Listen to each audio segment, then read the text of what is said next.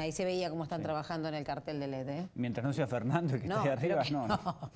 Espero que Daniel lo esté filmando de abajo, ¿no? Sí, Daniel, como es Daniel, capaz que se subió, hay que cuidarse. Claro, no, no, bueno. pero son los especialistas. Bueno, tenía razón, Fernando. Salió el sol, está bastante agradable porque la temperatura tiene que subir un poquito más. Y ya superamos los 20 grados actualmente en Bahía Blanca, 27. Bueno, y va a subir un poquito más. Nubosidad variable, templado, viento del sector noroeste, la máxima 22 grados.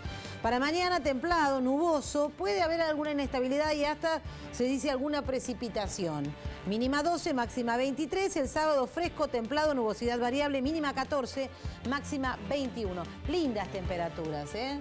Agradables temperaturas, se viene un fin de semana ya acercándonos a las temperaturas eh, primaverales y el domingo, por supuesto, seguramente eh, cuando caiga la noche Ahí va a estar fresco. va a estar fresquito, pero con calor humano allí en las tribunas de Olimpo. Hasta el momento vienen tranquilas. Muy tranquila. La, ¿eh? Viene tranquila la venta de entradas, eh, hay todavía una importante cantidad que no se ha comercializado, pero seguramente, estando boca en medio, se van a terminar de vender en las próximas horas. Sí, además eh, como la gente va viendo por la pantalla de Canal 9 que la cola es tranquila, que se puede ir eh, muy tranquilamente a, a adquirir la entrada, la gente se va a ir acercando. Hasta las 18 en el día de hoy, mañana de 12 a 18 y el sábado de 10 a 18. Y si quedaran, la empiezan a vender en la cancha a partir de las 3 de la tarde del domingo.